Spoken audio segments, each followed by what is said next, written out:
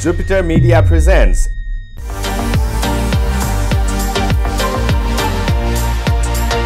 Awasar, telecasting global opportunity.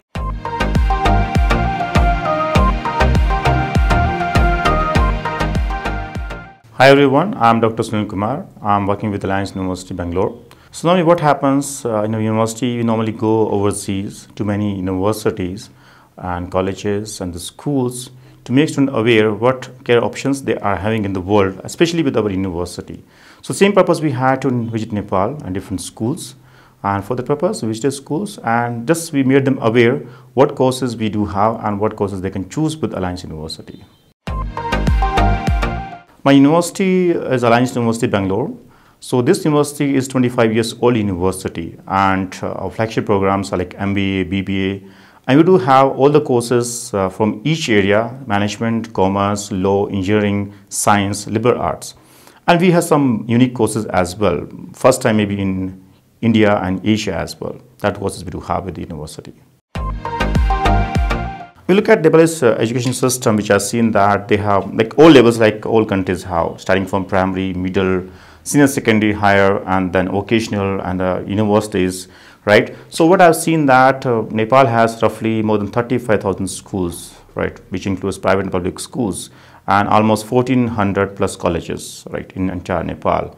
So most of uh, schools are having similar kind of system. Either in like our country, we do have CBSE, ICSE, and different boards. Even Nepali system is following the similar kind of system, but Nepali board, I think they do have in in this country.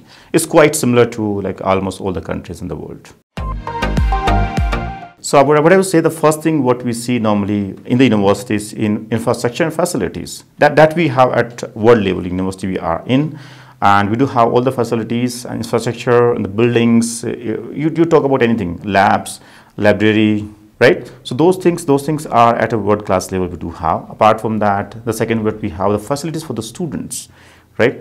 So it's hostel it is mass or canteen. We do have all facilities apart from that if you look at our professors who are teaching to the students they are having like different class in terms of their education and research they do have so there, there is no compromise with the quality of any kind in the university. So when one student come to the campus, they can experience that by themselves. So what we have normally, what is lacking in education system any, anywhere in the world, not everywhere now, but now they are trying to fill this gap. So what they have, there's lack of experiential learning with the students. They are learning theories in the classroom, but not practical things in the real life. So what we do, how we have blend of everything we have classroom teaching where they understand fundamentals of each and every course. Then they have insights with the industry and we call them industry leaders. They give them insights that how industry works and what are the expectations in real life. Apart from that, they have projects. They have every kind of uh, co-curricular activities so they can learn by their leadership qualities itself. So those things we are having in the university, all the facilities, so they can learn by doing by, by, by doing by, by doing by themselves. So that is what we have in our campus. So what we have, we have like visits for the schools. So in that we have the partners. The, those partners facilitate us to visit schools, so we can students are aware now. So what we do have as a university. So this is quite good experience with the partner in Nepal as well what happens so those there are different policies by our regulatory bodies so we work with those policies as well so students are studying with us when they go anywhere in the world the degree is recognized by all institutions in the world in terms of the validity in terms of the course structure in terms of the credits they have in terms of the system we follow so it is acceptable everywhere in the world there's, there's no doubt in that the main purpose of visit was to just make the student aware about the university and the courses we offer. So now what we expect that if they are interested in the find university is unique in nature in terms of courses. So we expect that students who are really interested they should come to campus first, visit us, look at our facilities, professors, students, right? And then then make a decision. That's what we're expecting for the students. So they, they can come to our courses, right? And uh, we feel that so Nepal is a good place to like promote a university and we can visit again. So we'll have more courses, right, as per the industry requirement.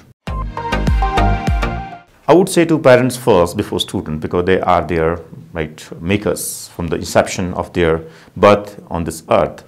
So they should ask them their words interest in which they are good.